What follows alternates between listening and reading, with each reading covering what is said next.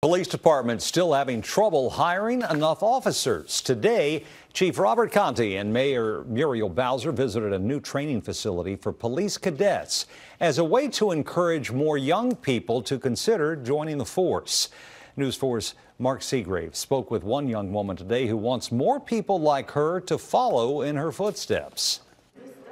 Aaliyah Good is one of 99 young people enrolled in the Metropolitan Police Department's cadet program. It's more important to have people that, you know, look like us that are from the communities to really implement what it is to be a true officer, what it is to provide the community service and the just be an advocate for the community. Chief Contee and Mayor Bowser spent time with some cadets today highlighting their new training facility but they acknowledge they're having trouble keeping up with the high number of officers who are retiring or quitting each year.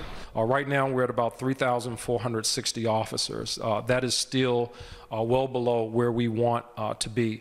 The attrition rate in terms of people who are eligible for retirement, that has remained steady. In fact, it has upticked a little bit. Right now, we're just really trying to stay afloat as we get these additional folks in. The department is offering incentives for current officers to stay and $20,000 bonuses for new officers. Bowser and Contee hope expanding the cadet program will help get the department to 4,000 officers at some point. As for Good, she's not alone as a female cadet. Just over 50% of MPD's cadets are women. I think it is absolutely amazing, to be honest. I think we are encouraging other women of all races to be officers and to show them in a predominantly male um, occupation that women can do this also.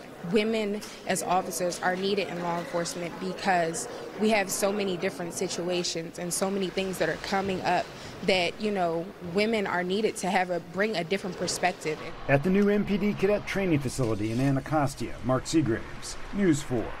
Now, cadets could be between 17 and 24 years old and can enroll while still in high school. They make $36,000 a year while training. New recruits who are older and have college degrees start at about $60,000.